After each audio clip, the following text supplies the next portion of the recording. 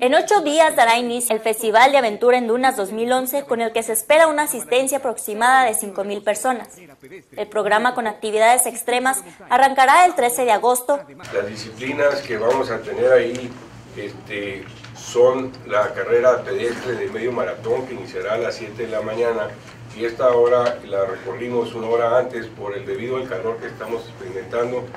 Luego seguiremos con lo que es el reto de aventura en dunas, que es una carrera que ya la hemos tenido anteriormente, que es una carrera de bicicleta de montaña.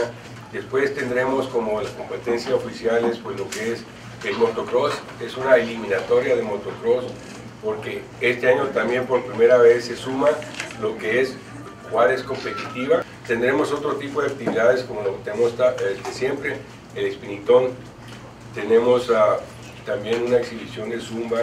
Tendremos este, algunos ejercicios para niños que nos van a apoyar de parte de la Universidad Autónoma de Ciudad Juárez y otros organismos como Boy Scouts y demás. Igual tendremos una exhibición de voleibol el evento se llevará a cabo en las dunas de Samalayuca, en el kilómetro 323 de la carretera panamericana.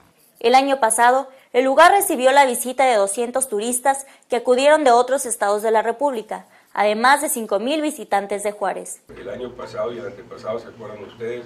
Tuvimos que cerrar el ingreso desde la tarde por el número de gente juarense y de Estados Unidos, porque también de Estados Unidos llegan algunas personas a acompañarnos.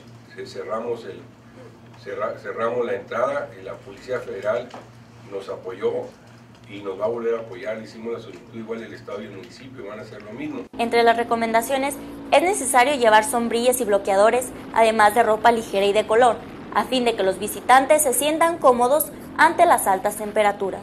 Con información de Noemí Barraza, Diario TV.